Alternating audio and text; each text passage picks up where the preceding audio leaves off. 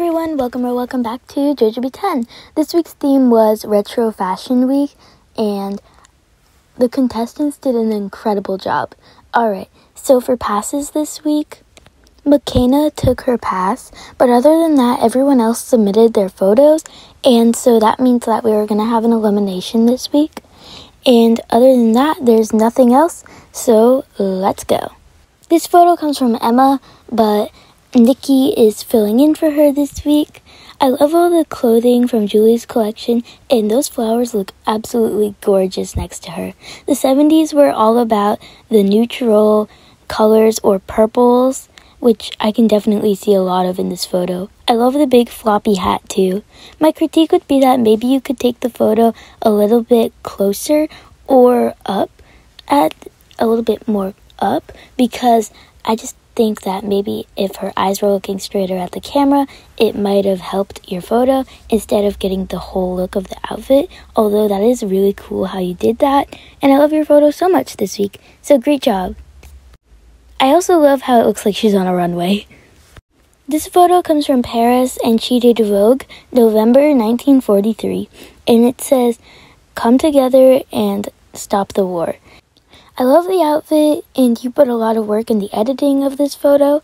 I just think that the text is really hard to read, so maybe if you added like um, a bigger text font or something like darker just to make it easier to read. But overall, great job. This photo comes from Blair, and she did the 1940s. She's playing hopscotch. I love this photo. The colors just work so perfectly together. I love how the sky is so blue, and then the grass is super green, and then her dress is absolutely stunning. And her hair, like, it's perfect. I love that hairstyle. It's so cute. And I love how she's playing hopscotch because that is something that they would play a lot back then, like you said. And I don't know, I have no critiques this week. Great job. I can definitely tell you're improving so much on your photography and just great job this week. This photo comes from Caroline Estelle. She also did the 1940s and she's recreating Molly's um, book cover, her original one. I think this is so cute. The outfit looks amazing on her. The photo just is a little blurry. I don't know if that's on my end or not, but great job this week. And yeah. Next up is Rose, and when I saw this in my email, I was so, so excited to see this photo. I was just, whoa, speechless.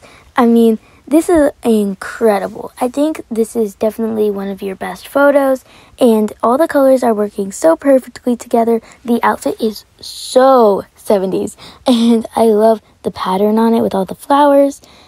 Overall, you did an amazing job this week. I have no critiques. I, I'm speechless.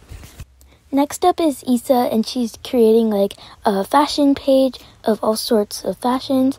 I think these are like through the decades, but I just wish you could have added some text so I could know which decade is which, or if you were just focusing on one decade, maybe I could know like which one it was, because I'm not completely sure.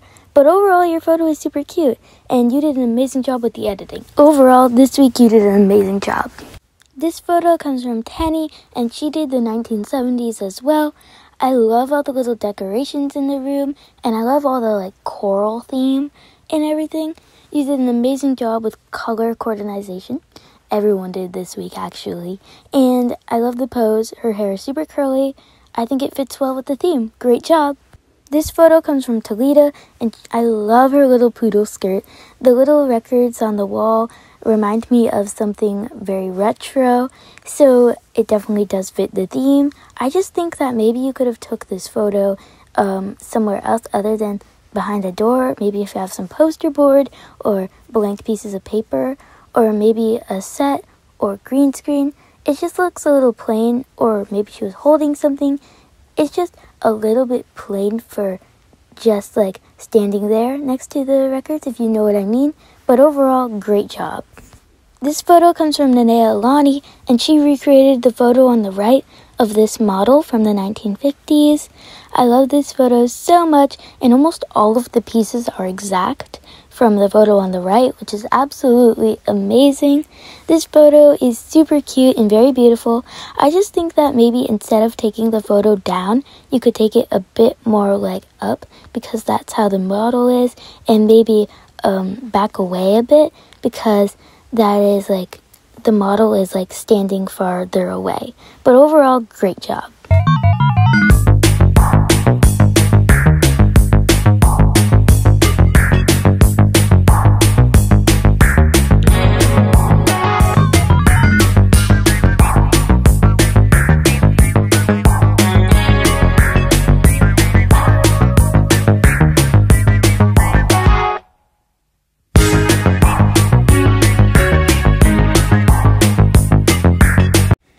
Does sadly mean that Talita is eliminated.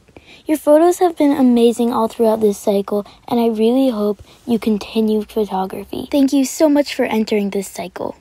Next week's theme is Earth Day week because Earth Day is actually April 22nd, which is actually coming up really close. And so for this photo, I want you to take a photo outdoors or showing your dog cleaning up the community or something like that just something showing your doll and something related to Earth Day, helping out the earth, or taking a photo in nature. I mean, it could be anything. So, yeah, photos are due April 26th. Make sure to submit them on time. Thank you so much. Bye.